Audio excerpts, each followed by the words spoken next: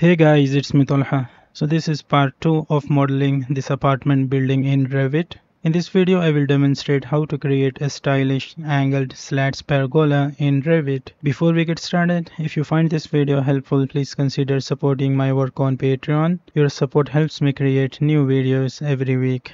Now let's get started. Let's create the pergola here. First uh, we want to add the columns. So let's uh, select column from here architectural column and then I'm going to duplicate this. 6 inch by 6 inch.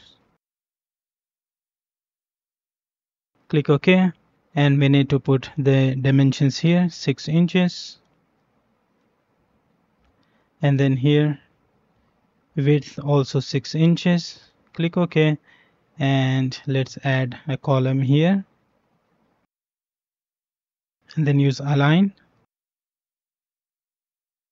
and just align uh, this uh, column uh, to the edge of this wall here. Let's select this one. Mirror we'll mirror it from the middle here like so. Then hold control key and select both of these. We'll just mirror. Then we can just move them to the edge of this floor so that's how it looks like now. Let's create the frame uh, for this pergola to create the frame i'm going to create an in place component. So let's click this drop down select model in place and then i'm going to select generic models from here. Click ok click ok again and let's use sweep. Go to the top view or the level 5 and then sketch path and we'll create a rectangle here. Like so.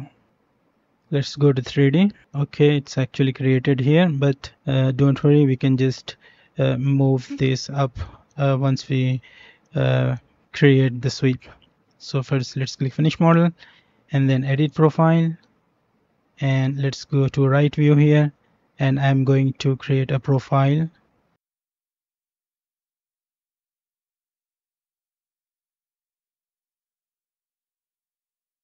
and then we can just move this profile. Let's move it here and click finish. Finish again. There we go. We got this frame. Let's move this up. So for that we can just go back to right view again. And I'm going to use move and just move it to the top of this column here. Like so let's add a material parameter to this. Just select this frame and then click this little button to associate a family parameter. Click here new parameter. I'm going to call it frame. Just click OK. And finish model. And you can find this material uh, parameter here. Anyway here I just noticed we need to just uh, flip this wall. If I hit space it should uh, place perfectly here. Let's check on this side. The rest of the walls are perfectly placed on this floor. Now here we want to create different angled uh, slats for this pergola so the simplest way to achieve that is by using glass roof. So first let's go to roof as you can see we have this frame showing up here. Let's go to architecture select roof and then we'll use this sloped glazing from this drop down. And first I'm going to create a rectangle inside uh, of this frame. And then we want to divide this uh, into four rows and four columns. And then we can create dimensions to equally divide these segments just click this little EQ button. And if you notice the these lines also moved. So we can uh, simply align them again. AL select this frame. And then this line here also just make sure. Perfect. Now we can delete this dimension. And I'm going to create three lines here again. Let's create dimensions again. Di. And we want to create the dimensions here. And then click this EQ button. If it doesn't match we can use align. Let's make sure here as well. Now I'm going to delete this dimension and use trim tr and just trim these lines here just click unjoin elements. Here also click unjoin elements and then delete these lines. We can simply copy this one. Now to remove the slope we just need to select all of this and and just uncheck this define slope. Let's click finish and there we go. We got uh, this glass roof here. Let's select that and first we want to give a 4 inch base offset here. Perfect. Now we can simply add mullions to this glass. Let's select this. Click edit type.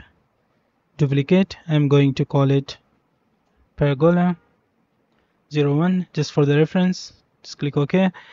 Let's select fixed distance in the grid 2 and the distance should be 6 inches and let's scroll down a little bit and we want to add interior mullion here. So I want to choose this one one and a half inch by two and a half inch mullion. Click OK. There we go. We got this kind of design here. Okay I forgot to remove the glass so let's click edit type again and let's remove and just select empty system panel click apply. Okay there we go. Now I want to uh, rotate these mullions. So for that we need to select this curtain wall and we get this little button here. Click on it and then we just want to change the angle here. We want to make it 45 there we go. Now we will add a border here. For that also we can uh, use mullion and make sure grid line is selected here. Then I'm just going to use the same mullion. Then click here and and add another one here like so. Let's go to roof. You can just simply copy this glass roof. Select this one just hit tab key then click. And then we can copy from here. Let's create another copy here. Perfect now I want to change the uh, angle of these slats again. Let's select that again and click here and we'll just remove the angle. Let's make it zero. Click delete elements. And here I think we should add uh, mullion again. This time we will use grid line segment. Select the grid line here. This one should be the same as the first one and the last one we want to uh, remove the angle again. We want to create the horizontal slats here. To do that we actually need to uh, create a copy of this one. Select that edit type duplicate and this one should be pergola 2 and we'll remove grid 2 and just add grid 1 select fixed distance 6 inches spacing and the and select the same mullion here. Click ok. Click delete grid line. There we go. We can just go back to roof again and select all of this. Okay just make a selection like this. Then filter. Click check none. And then select roof we don't need to select the curtain panels. And if you copy the roofs it will automatically copy the mullions and the curtain panels as well. Click ok and then copy. From here let's copy them.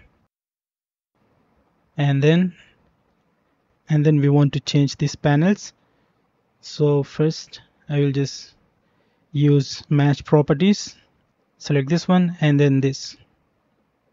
Just click delete grid lines. There we go can just tap select this panel and then click here and let's give it an angle 45 degrees.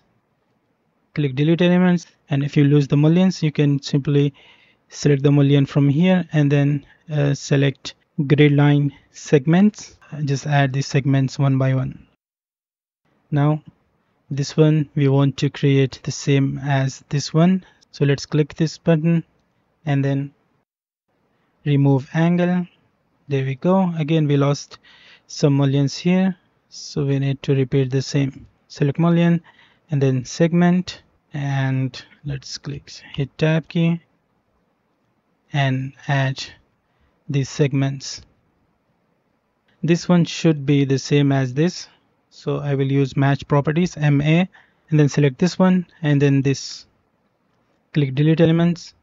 Okay actually there is some issues. So I think we can just delete this and go to roof and copy this one. Tab select this panel copy from here to here. Now we can select all of these and filter check none. Uh, the just keep roofs checked. Click ok and then copy from here. Like so